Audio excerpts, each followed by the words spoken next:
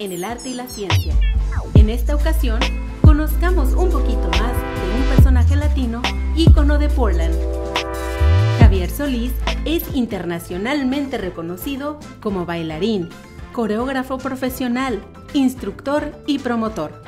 Se ha abierto espacio trabajando día a día en lo que se ha convertido para él no solo en una profesión, sino también una pasión que lo lleva siempre a dar lo mejor de él mismo, tanto en sus presentaciones como en sus propias producciones. Originario de Mérida, Yucatán, México, sin hablar inglés, Javier Solís llegó a Oregon en el verano de 1993 e ingresó a Venice High School para posteriormente estudiar en Oregon State. Para el 2005, después de muchos años de preparación, Javier Solís, convencido de que su profesión y la cultura por el baile pueden aportar mucho al ser humano, decide fundar el Portland Salsa Congress y con mucho éxito y trabajo logró que el Portland Salsa Congress sea un evento de calidad, digno para todos los amantes del baile y la música, siendo el Congreso de Salsa un evento competitivo y de alto nivel en todo el noroeste de Estados Unidos. Javier no solo fundó el Congreso de Salsa en Portland, sino también es cofundador de muchos congresos más. Su fuerte amor al baile, la disciplina y la música lo han hecho aprender, ensayar, perfeccionar y actuar hasta convertirse en un bailarín profesional, lo que lo ha llevado a diferentes partes del mundo, donde se ha presentado con mucho éxito. Tal fue el caso que en una gira de clases y presentaciones a la cual fue invitado, se convirtió en el primer latino en bailar en la Gran Muralla China. Javier ha tenido la oportunidad de compartir escenarios con el caballero de la salsa Gilberto Santa Rosa, Víctor Manuel y con uno de sus favoritos, Oscar de León, lo cual ha sido algo muy especial para él. Javier Solís, entre muchas más presentaciones, ha sabido llegar al público local de Portland y ha estado presente en el intermedio de los Blazers, aportando el sabor latino que enriquece la ciudad. Pero, ¿qué hay más allá de todo esto?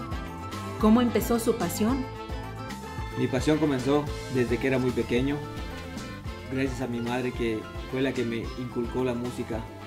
Mi alarma era la música y al despertar lo primero que hacía mi madre era hacerme bailar con ella.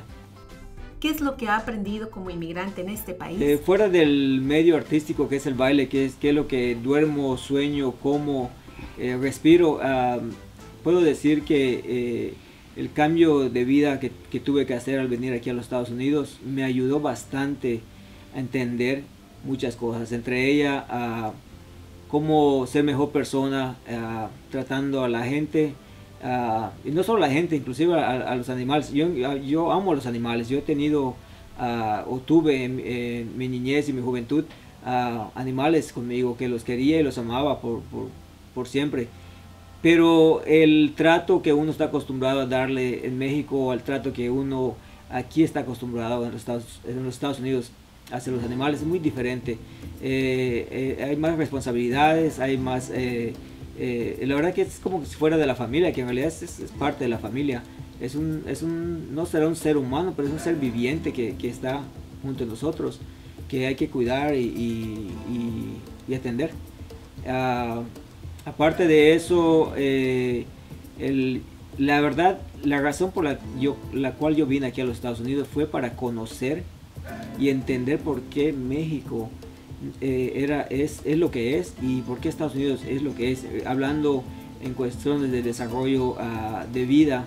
Y eso fue algo que a mí me, me, tocó mucho desde que estuve en la escuela, cuando iba a la secundaria, porque no, no, mi cerebro no entendía la, la, capacidad de por qué la diferencia.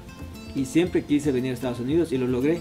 Uh, mi primera vez que iba a venir a los Estados Unidos eh, tenía 15 años y la verdad que he aprendido la mentalidad del americano en muchos aspectos, del cual me ha ayudado a hacer lo que hago hoy en día, porque la mentalidad que ellos tienen de negocio, como ellos dicen, the big picture, ah, es fácil decir, pero difícil de entender.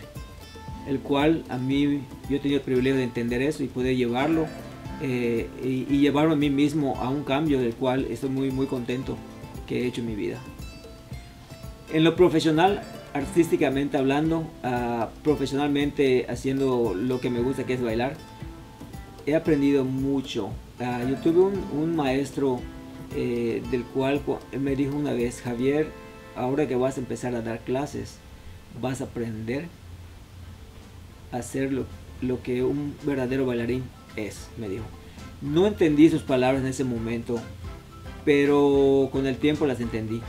Él se refería a que, como, toda, como todo en la vida, si uno es eh, mesero, dueño de un negocio, doctor, lo que usted sea en esta vida, todo es práctica. La práctica es el maestro. ¿Qué es lo más importante para él?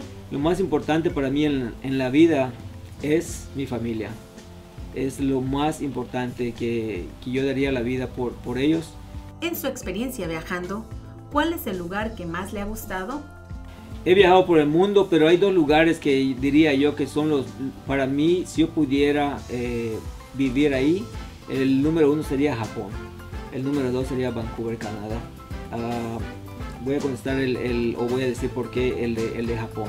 Japón es una, es una, si uno ve la historia de Japón, de todo lo que han pasado, de que han, han, estado no en cero, punto cero cero y, la verdad comenzado de, la nada y donde han llegado en este momento es impresionante. Eh, sin mencionar que al, estar ahí yo me di cuenta que son una cultura muy limpia, uh, una cultura muy centrada en lo que hacen, uh, eh, sumamente inteligente esta gente, eh, increíblemente como ellos uh, piensan, trabajan y, viven, tienen un, un porqué. Yo creo que los grandes negocios, los grandes bailarines o lo que sea que, que uno haga que, que, llegue a ser alguien en la vida, es porque tienen reglas que seguir, las respetan y eso hace que, sean lo que son. Volviendo a lo mismo, Japón es, un, país que, tiene sus reglas y, y las sigue como debe ser. ¿Cuál ha sido la clave de su éxito? Hay que tener los sueños y trabajar duramente. Una cosa es que usted sueñe, otra cosa es que usted trabaje para ese sueño. Es como cuando todo el mundo piensa, ve la lotería y dice, oh, me gustaría ganarme la lotería, pero no voy a comprar el boleto. Entonces, ¿cómo, cómo, se lo va a ganar? Eh, es un decir. Pero en realidad para, lograr lo que uno uh, quiere hacer en la vida hay que trabajar muy fuertemente. Eh, no es fácil, nada es fácil en esta vida, pero tampoco es imposible. Todo se puede lograr con dedicación, esfuerzo, para que uno pueda crecer y al mismo tiempo los demás tengan respeto, respeto hacia, uno, hacia uno mismo.